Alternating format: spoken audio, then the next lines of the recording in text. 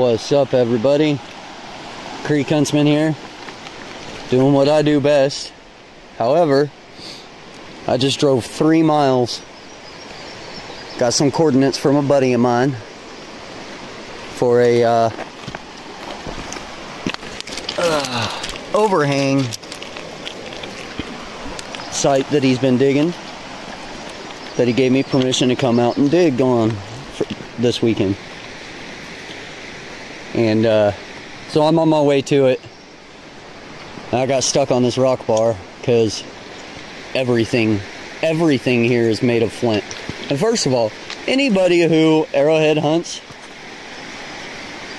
in this area of the Ozarks, well, I guess all of the Ozarks, kudos if you find anything because every rock is made of flint.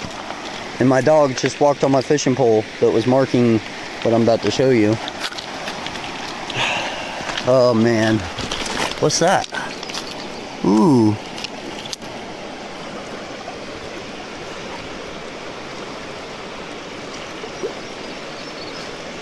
Man, I'm just telling you, every rock is flint. That's worked, whatever it is.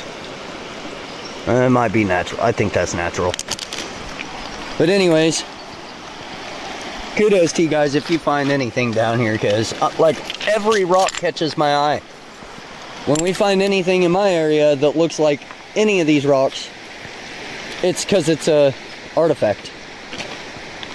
But anyways, enough of the jibber jabber. I found something. And uh, I'm to give a shout out to Taylor Shanks on this.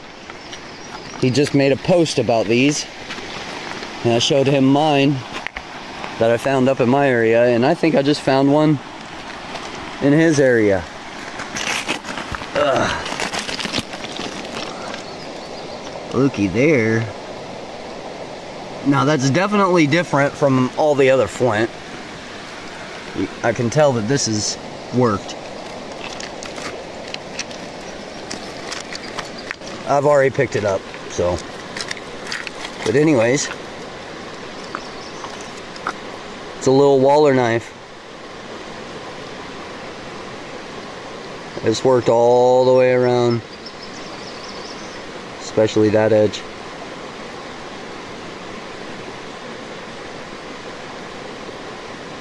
Heck yeah, man. I found that just now, and a little bit ago I didn't record it. But I found this little dude.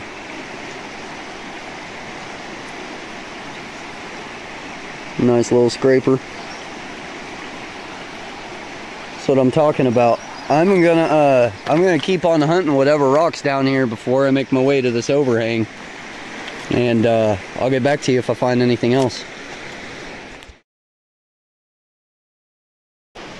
Got one. It's got Cortex on it still. I already picked this up. You'll see why.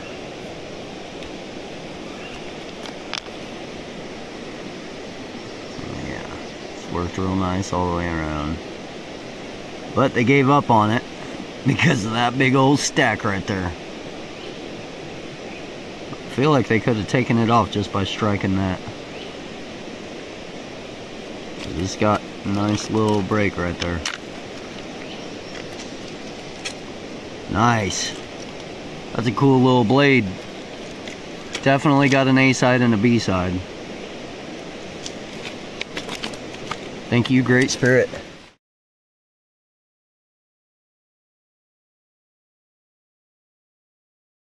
All right, I'm down here in this hole underneath this overhang.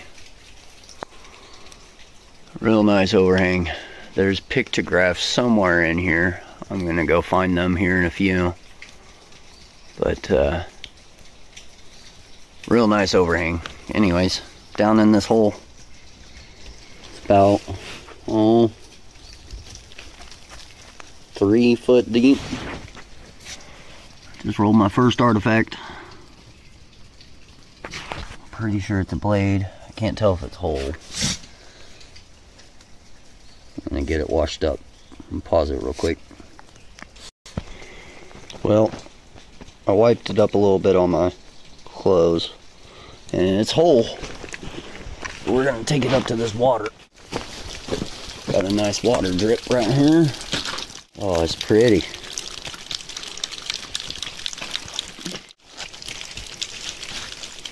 Yeah, buddy. It's whole.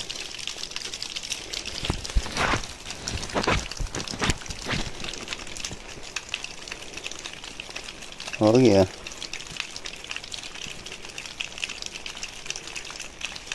I don't know if there's any more in that hole yet. About to go find out. I'll get back to you. See ya. Alright, we're back. Still finding all kinds of stuff. Got that blade. Then a midden.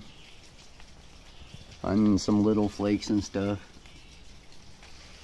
But I just went to knock some dirt off and this fell down into my hand so I pushed it right back up where it was.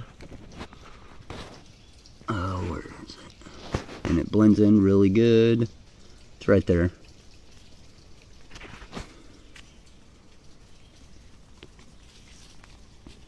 Oh yeah. Oh, it's a good one. My favorite artifact.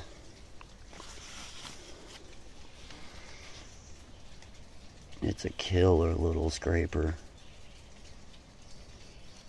Duckbill. Oh man, I can't believe this. Oh, I can't believe this. So I'm getting all these little shells, or mussel shells. Somebody's dinner, thousands of years ago. And they have mud on the inside of them, of course, and so I'm scooping the mud out of them. And I just did it on this one. And it's not mud on the inside of it. Oh my gosh. Oh, it's a broke, but man, oh man.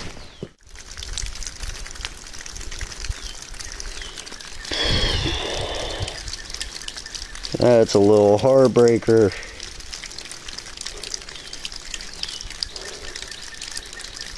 Man.